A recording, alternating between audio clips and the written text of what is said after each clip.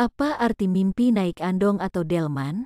Jika kamu mengalami mimpi naik andong atau kereta kuda, maka kamu perlu menerima apa adanya dan fokus untuk bergerak maju di masa depan kamu sendiri, karena saat ini kamu telah melakukan semua pekerjaan untuk seorang teman yang tidak menghargaimu sama sekali. Tulis di kolom komentar, apa mimpi kalian, untuk kami tafsirkan di YouTube Shorts selanjutnya.